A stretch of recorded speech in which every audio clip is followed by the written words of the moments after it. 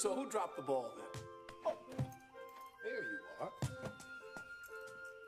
I'd like to have a nice cup of hot cocoa. Would you fellas care to join me? No? What would you rather do instead? Go outside and play? Well, I can understand that. What do you think? Why do you keep hitting him like that? You're gonna have to have a timeout.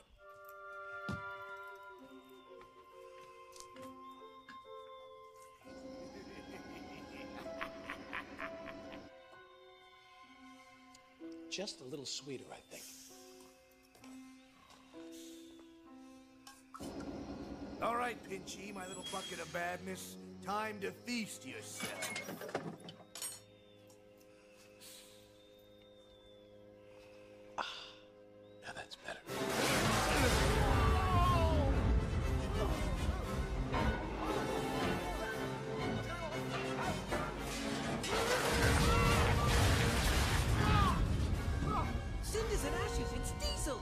No!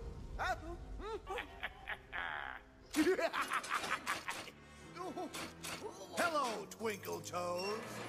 I got a plan, and you're not in it. You can't catch me, Diesel.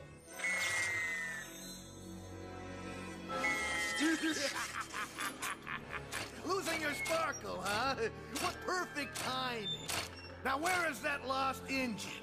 You won't find her here. You're not clever enough to stop me. Oh, yes, I am. No, you're not.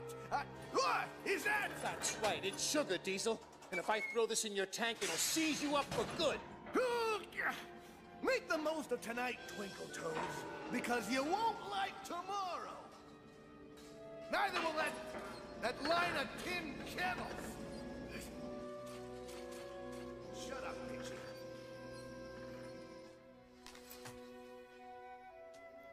Mr. Conductor, but what happened to your sparkle?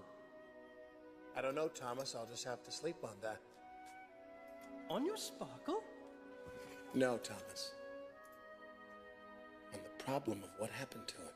Oh, but Mr. Conductor, without your sparkle or the lost engine, you can't travel here to help us anymore. I'll solve the problem. You just go to sleep now. Easy for you to say.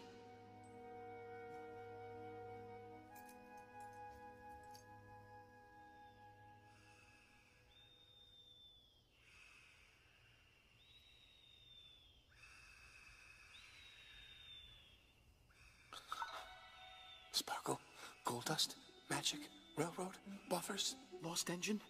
The family told me, as long as there is a railroad, there will be harmony. As long as there is gold dust, there will be energy. You will never have to worry.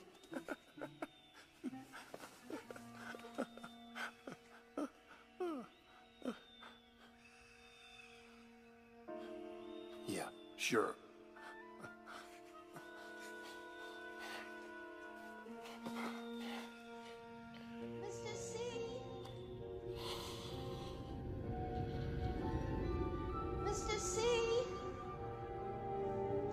Why aren't you here? Why couldn't you travel anymore to the island of Sodor? Or back home here to us in shining time? The magic is all gone.